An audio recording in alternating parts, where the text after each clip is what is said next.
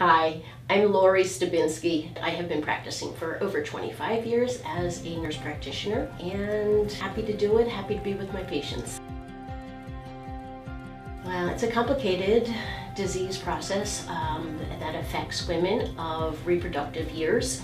It truly is a metabolic endocrine disorder uh, that does affect uh, women and causes some, some issues throughout that reproductive years. When women first approach us with some irregular bleeding, um, they haven't had their period for a number of months, uh, either heavy bleeding as well can also be another telltale sign. Um, sometimes they are, you know, at their wits' ends with hair loss or um, some fertility issues. So these are kind of all signs of polycystic ovarian syndrome, which again, metabolic disorder um, happens in the ovaries, that we have an overproduction of androgens or those male hormones in a female's body that shouldn't be that excessive. Depends on the patient and where they're at in their reproductive years. We look at, are they looking for fertility um, in the near future? Or are we just wanting to regulate menstrual cycles?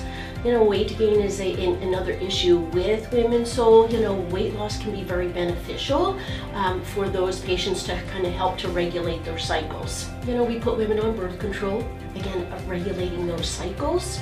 Um, for fertility, it may be something to do with ovulation uh, induction, where we want to stimulate the ovaries to help produce eggs to be released. Because overall, with PCOS, those irregular cycles means women usually are not ovulating, and there's usually an underlying reason for those that we try to investigate.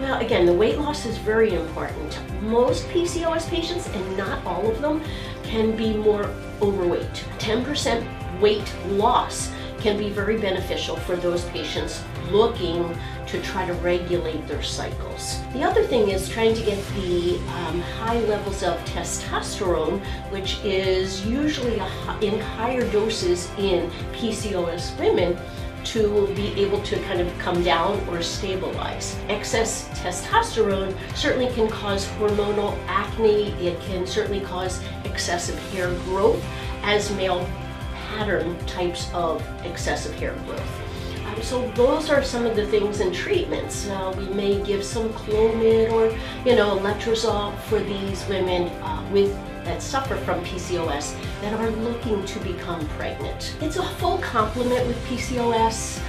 Patients have to be patient um, in regards to getting a treatment that will be beneficial to them.